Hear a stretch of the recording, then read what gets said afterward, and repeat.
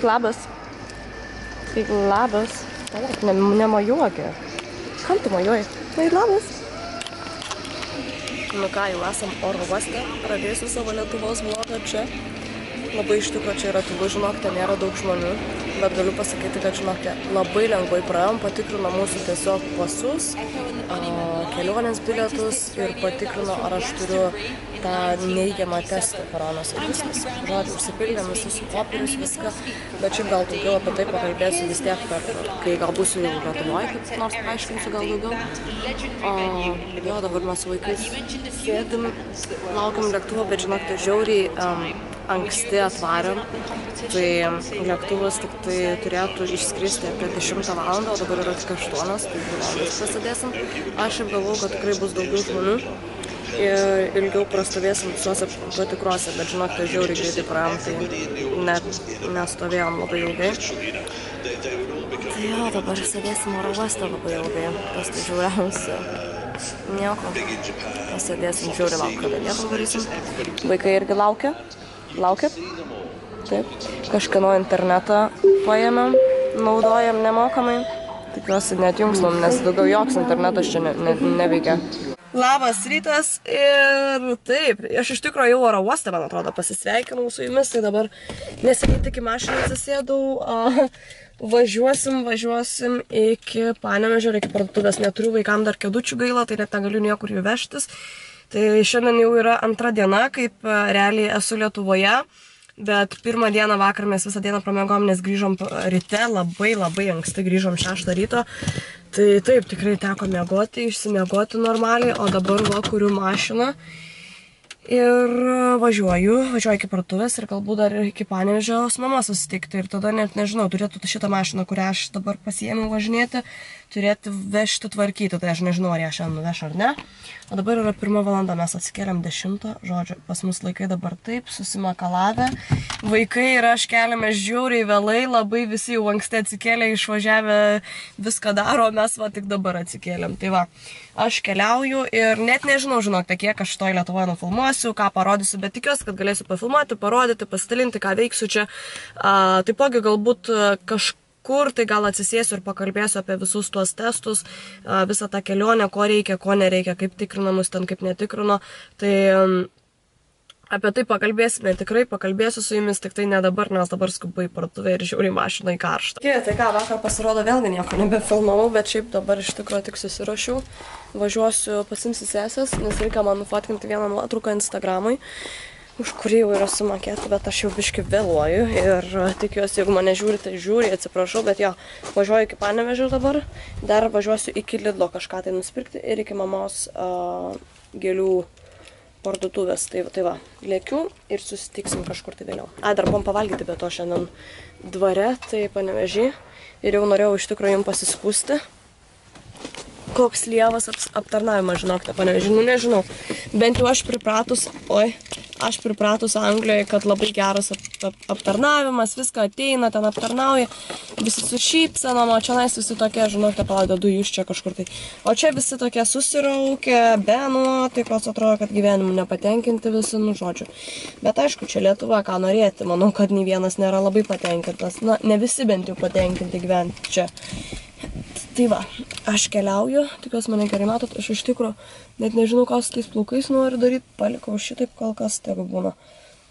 Žiūrėsim, nusijėmus tas sakinis, biškai geriau atrodo, bet lėkiu ir susitiksim kažkur. Vos rytas, tai ką šiandien yra penktadienis ir va, susirašėm su Hebrytė varyti į miestą. Vakar labai daug kas parekomendavo mums žaidimų kambarių visokiausių, tai varysim į tą naują Klaipados gatvį panevežį, tai ten nuvarysim, šiaip dar varysim į centrą pasivaikščiot, gal kažkur pavalgyt.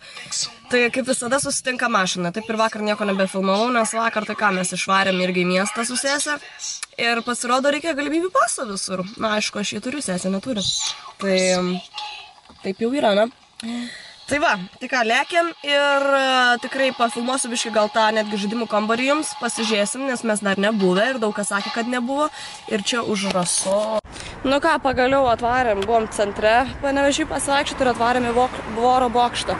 Jeigu kažkas, žinokite, nerasi, tai va, šitą maksimą panevežį ir iš karto prieš tą maksimą va, yra Voro bokštas, o čia iš karto. Čia netgi galima iš tikro mašiną pasiparkuoti, bet mes prie maksimos pasiparkavom.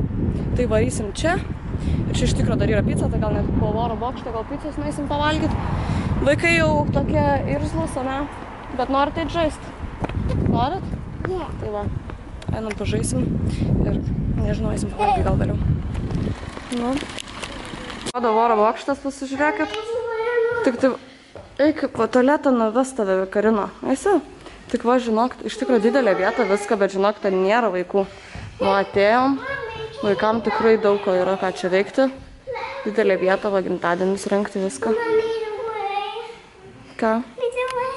Eik. Jeigu varysit į voro bokštą, tai 30 minučių yra netgi nemokamai čia. Tai žodžiu, jeigu pavalgysit kažką tai su vaikais, tai 30 minučių gali drąsiai būti nemokamai, net nereikės mokėti. Super, dėmas. Tai va. vaikai jau žaidžia ten. Ai, mano pirštą užkarto. Oi, iš tikrųjų faina vieta. Švarus svarbiausia čia, ne? Ką? Kur tu esi palaukti? Artinsim. Nematau nei vieno. Nerandu. Ne. Va, varo. Sau. Milana? Sakyk labas. Sakyk labas. Matau man pizza. Matau man pizza. Matau man pizza. Meisai, pakelk.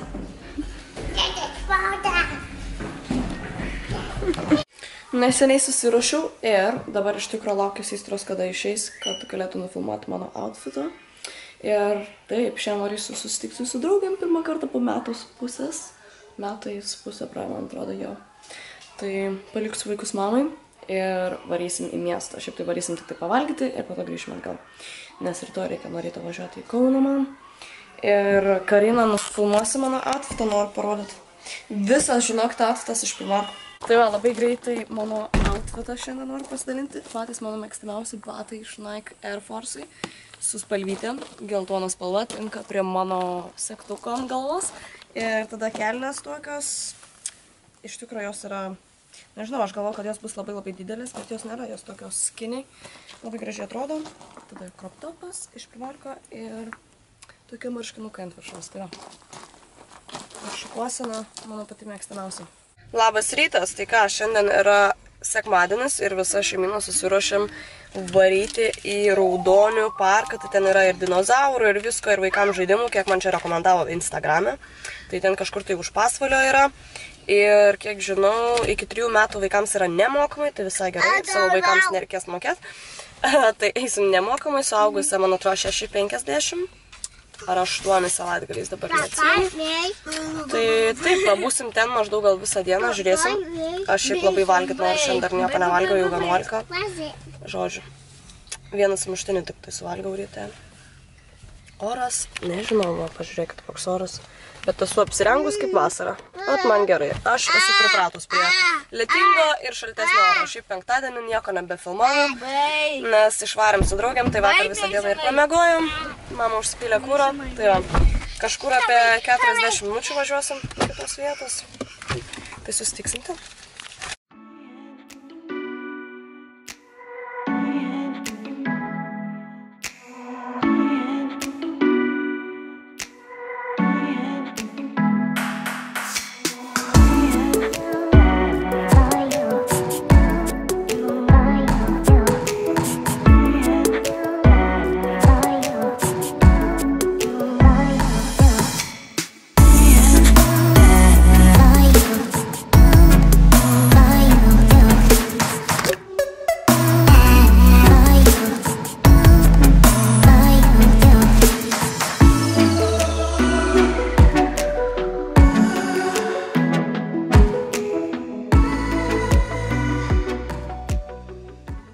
Siekia, kad geras oras, va, atvarėm, einam prie įvėjimo, eisim į tą kitą vietą.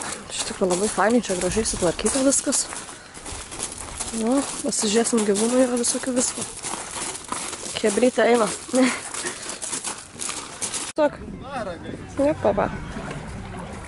Ką darysi, vairuosi? Vairuok va čia. Va. O. Uuu, atsargiau.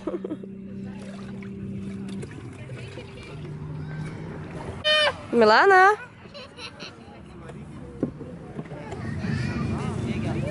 Kurva.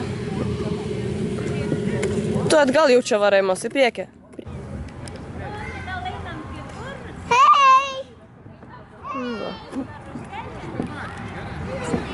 Sėdėk čia tik tai. Taip. Milana. Kuku. Nežinau, kaip vairuoti. Nu va, atėjom, radom ir batutus tuos visus. Čia iš tikrųjų labai fainai nusileidinėja visi. Mes nebandam, gal pabandysim vėliau. Ir po to neštis va reikia patiems, matot, nešusi. Šituo visų keliu atgal. Jam pamaitinti va. Va, kaip jau vadinas, bembiai? Duok, nebijok, va. Žiūrėk, kaip fainai. Oi, kas Nebijok, sakau. Nebijogi. Čia ir kitam duok. Ateik, nebijok, anas bijo. Jie nusipenėję. Gerai. O, kokie gražuoliai, net trys yra pas mus. Duok rankytę. Oi, jau. O, dar nori. Nu, Jim, Masonai. Nu, jim. O tu pamaitinai, Milana? Duok, mait. Einam kartu, einam. Einam kartu. Nebijok, va. Išties rankytę. O, dar yra čia, dar yra. O, kaip fainai, matai. Why you wanna run away? Why you gotta be afraid? I wish I could make you stay. Cause baby, I love you. Why you tryna break us up? When I'm tryna build it up. I wish I could make you stop. Cause baby, I love you.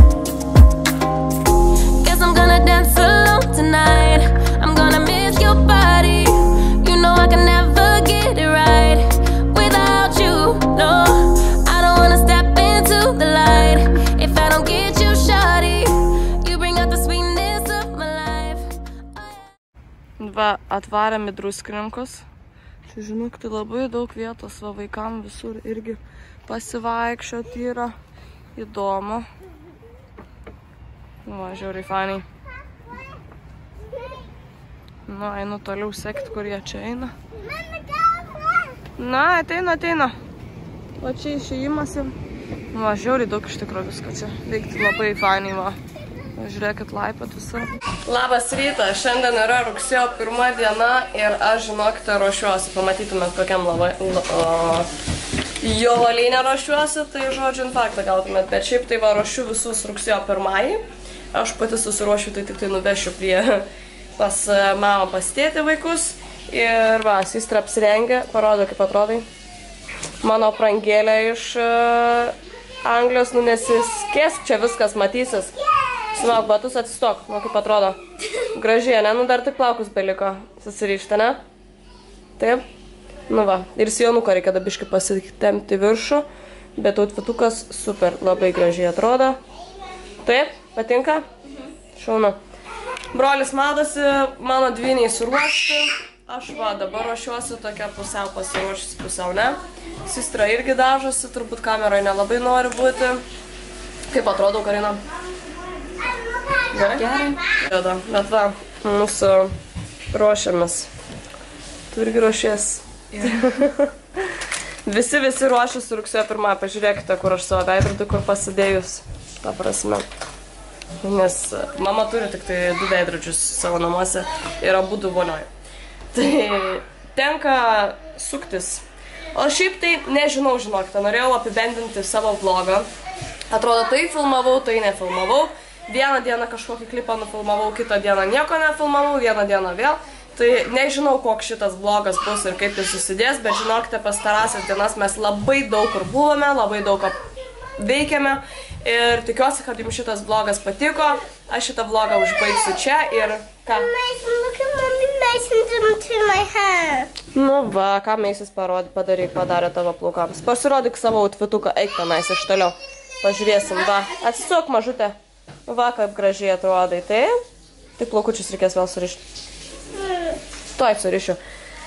Tai kaip ir sakau, mes tikrai daug ką atlikome ir šitos savaitės, tik, tiksliau praeitos savaitės vlogą aš užbaigsiu čia. Ir pradėsiu naują savaitės vlogą, kurį pradėsiu, žinoma, turbūt šiandieną arba rytoj. Žiūrėsim, kaip rugsėjo pirmą praeis mums visiems. Bet šiaip tai ačiū, kad žiūrėjote, būtinai paspauskite laiką, būtinai prenumeruokite mano kanalą ir susitiksime kitame mano filmuke. Čiau.